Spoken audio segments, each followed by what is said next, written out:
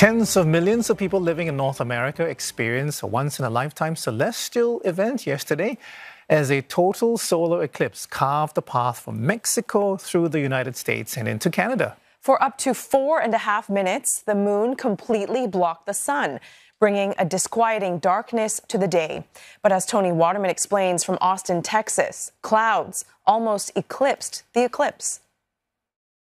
It was an absolute nail biter right down to the final moments because there were mostly clouds covering the city. But at that very last, most crucial moment, when Austin reached totality, the clouds briefly broke and that bright ring of fire could be seen in the sky. And that, of course, eliciting cheers from the crowd of about 5,000 that had gathered here in downtown Austin. There was complete darkness here, like it is in the middle of the night. And it lasted for about one minute and 40 seconds, although other locations on this path of totality saw darkness for about four and a half minutes.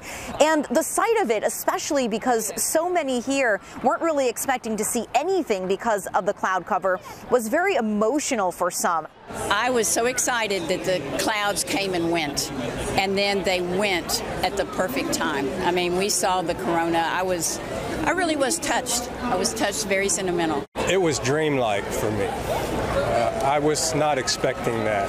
I was focused on looking at the at the sun and I was surprised that actually the darkness is the beauty of the eclipse and the way it makes you feel. I spoke to one family who traveled here from Chile. It was their fourth total solar eclipse, and it still brought tears to the mom's eyes.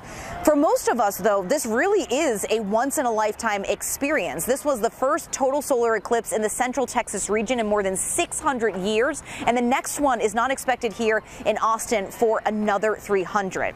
And this was just one of hundreds of watch parties held across the United States, but other solar watchers opted for something a bit bit more unique. In Arkansas, more than 350 couples tied the knot moments before total darkness. Others took a once in a lifetime flight tracking the path of totality.